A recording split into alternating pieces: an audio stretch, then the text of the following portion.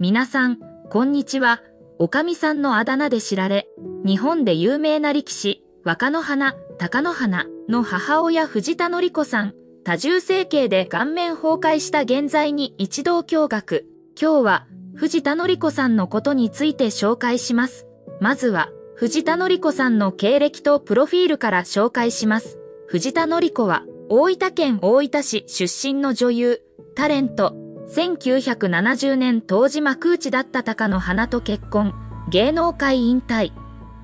1971年長男の章を出産、1972年次男の工事を出産、1982年藤島親方が藤島部屋を起こし、部屋の女将となる。2001年離婚、芸能活動再開、コメンテーターとしてメディア出演するほか、子育て、ライフスタイルをテーマに講演活動を行うなど、活動の場を広げている。相撲部屋の元女将にして横綱の母親という経歴から、ワイドショーにおいて大相撲に関するコメントを求められることも多い。近年は、重大に始めたクラシックバレエのレッスンを再開、その他、ヨガやバランスボールなどで汗を流し、常にアンチエイジングと身体のメンテナンスに余念がない。今年70歳を超えていても美貌を維持しています。しかし、整形疑惑が常につきまといます。プロフィールや若い頃はどんな顔だったのか、現在の姿をご紹介します。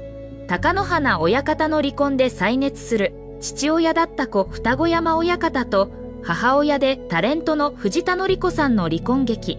55歳で創生した高野花親方の父親の死因の真実は何だったんでしょう。また、父親違いで高野花は輪島の子と自分の息子、高野花が言われ続けてきたことについても言及した藤田紀子さん。その発言の意図や真実はいかがに、2018年は常に騒動の渦中にあり、最後は自主退職にまで追い込まれた元高野花親方。父親である元大関高野花さんは、昭和25年2月19日、北海道室蘭市で生まれました。10人兄弟の末っ子で、22歳も離れた一番上の兄は、土俵の鬼と言われた初代横綱若乃花、二十歳の時、周囲の反対を押し切って、当時松竹女優だった3歳年上の藤田紀子さんと電撃結婚。二人のキューピッドだったのは、2018年10月8日に、70歳で亡くなった元横綱の輪島こと、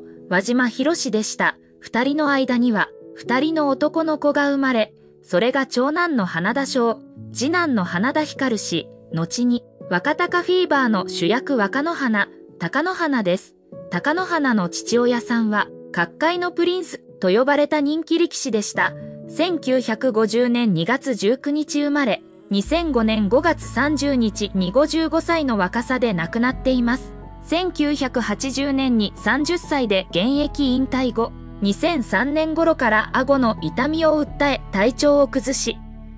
入退院を繰り返していました。病名は固く伏せられていましたが、後に、下の奥から歯茎のあたりにできる、高校低眼に侵されていることが公表されました。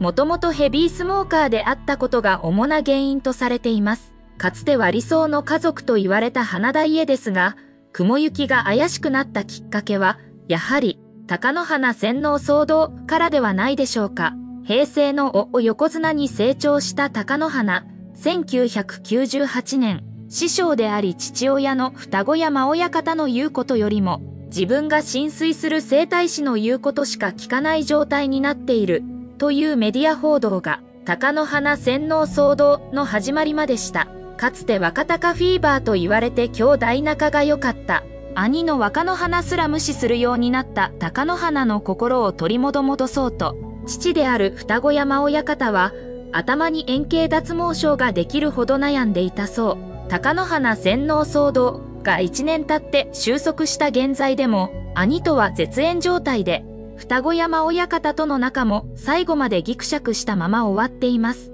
貴乃花洗脳騒動がきっかけで父とも兄とも絶縁状態が始まった貴乃花。そして2018年輪島さんが亡くなったことで、父親は実は違う人で、相手は輪島だったのでは？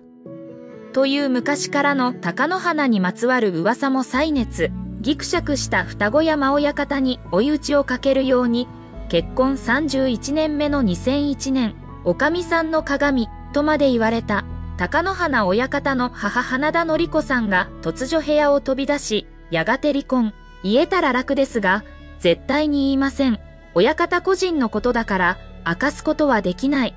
後にタレントになった藤田のり子さんは、このようにテレビ番組で語っていますが、当時、のりこさんと18歳年下の青年医師との不倫を大々的に報じていました。この4年後に2005年5月に高校低眼で元が亡くなるなんて想像してなかったかもしれません。高野花親方は2018年10月8日に亡くなった第54代横綱和島博さんへの追悼のコメントを高野花応援会のウェブサイトに投稿しています。私が幼い頃、和島さんは仙台高野花の自宅へ遊びに来られていました。夜に突然来られてあっという間に残り香りを残して帰られるような和島さんは私の子供の頃の記憶をたどると宇宙人みたいなそれこそ天孫降臨されたような方でした和島さんの思い出は仙台高野花の師匠が残してくださったお話も尽きないほどに思い出されますが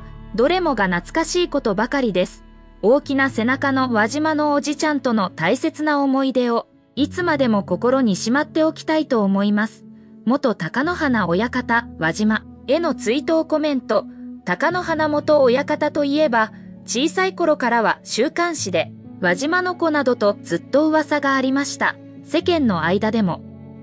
輪島の40代くらいの顔が今の高野花親方とそっくり。顔も似てるけど体型が似てたよね。とすっかり暗黙の了解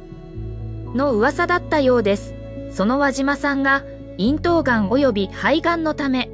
2018年10月8日に70歳で亡くなった際は、再びこの古い噂が持ち上がりました。これについては、貴乃花親方の母で現在タレントの藤田紀子さんは、2017年7月24日 TBS ビビットで言及したことがあります。自身の息子で90年代に相撲界で若鷹ブームを起こした貴乃花親方と花田勝がそれぞれ別の父親だという噂について触れた藤田紀子。本当にくだらない作り話。最初聞いた時はびっくりしたけど、今は怒るのも馬鹿らしいと全否定。さらに、貴乃花親方とは10年以上会っていない。双子山親方との離婚の理由は絶対に言えないなどと再度言及。元の双子山親方が2005年に高校低眼で亡くなって以来、ずっと会ってないのでしょうね。高野花親方の母、藤田紀子さんは、2018年ですでに70歳。様々な思いやご苦労はあったと思いますが、おそらく彼女の現在の最大の心残りは、高野花親方との断絶のはず。2018年10月に高野花親方と河野恵子さんが離婚を発表した際も、恵子さんに対して、息子を23年間支えてくれてありがとう、とメディアを通じて言及、高野花親方の心に響くように。なんとか和田かまりが解けるきっかけを探しているように思えました。今後母子の関係も修復に向かうといいですね。最後に、大変おせっかいですが、高野花の父は輪島を、噂程度で終わるのもモヤモヤするので、血液型の組み合わせで検証してみましょうか。科学的に、つまり、この組み合わせ以外の血液型の赤ちゃんが生まれたということは、妻か夫のどちらかの血液型が間違っているか、二人の間に生まれた子供ではないことになるんですね。父高の花利小 B 型、母藤田則子霊型、兄花田勝 B 型、弟高野花 O 型、ちなみに輪島博 A 型、大型 B 型なら B 型加齢型の子供が生まれるはずなので、例型の鷹の花は何ら問題ありません。仮にもし、藤田紀子さんと輪島さんだったとしても、大型 A 型で A 型か O 型の子供なので、例型でも問題ないことに、血液型で科学的にはっきり白黒つけよう。とはいきませんでしたが、個人的には一般知識として勉強になりました。貴乃花の父親の死因は高校低眼2005年5月30日に55歳の若さで亡くなっています。鷹の花は輪島の子という古くからあった風説も、2018年10月輪島さんの死去で再熱しましたが、これは根も葉もない噂だと、藤田紀子さんは言及しています。鷹の花も完全に相撲界から引退されたことですし、絶縁状態の親子や兄弟関係も修復できることを願っております。ボトックス整形が崩れてきて、二重まぶたまで埋もれる始末、70歳を超えて、シワもないツルツルのお肌には、ヒアルロン酸やボトックスを施してるようです。能面みたい、目が怖い土地股で噂になっています。シワを伸ばしすぎて、少し不自然に感じてしまいますね。特に目尻を強化しているのか、顔のパーツ、特に目が埋もれてしまっています。後ほど若い頃の写真もご紹介しますが、若い頃があまりに美人すぎるゆえか、劣化したというよりも、顔面崩壊とまで言われてしまう始末、放火色炎という病気にかかった過去もあります。当時は現在のように写真の加工もなかった時代、藤田紀子さんの若い頃がとても美人だとして話題になっています。当時から切れ長の目が魅力的ですね。しかし、この様子から見ると目尻と目頭は明らか切開してますね。では、現在花田のり子さんの現在は ?2021 年1月に所属している生島企画室の YouTube チャンネルで、長男夫婦が仕事に行っている時に孫二人を預かっていると話しています。長男の妻が事務所社長兼マネージャーであるためで、女の子の面倒を見ることは初めてで面白いと言います。祖母として孫が可愛いのでしょう。また、相撲界に関するニュースを取り上げるワイドショーで、ご意見番として登場する機会もあります。花田紀子さんは何歳になっても、チャレンジし続けるバイタリティ溢れる人です。整形疑惑がありますが、本人は特にコメントしておりません。ボトックスや目の切開をした疑惑が報じられています。女優としてデビューし、相撲界の大人気力士の妻、母として30年間おかみさんとして尽くしました。離婚を機会に芸能復帰をして、今もアンチエイジングをして美貌に磨きをかけています。今後は孫との時間を大切にしつつも、講演会講師やコメンテーターとしてますますの活躍に期待しましょう。最後までご視聴いただき、ありがとうございました。何かございましたらコメントください。よかったら高評価とチャンネル登録もよろしくお願いします。ではまた次回でお会いしましょう。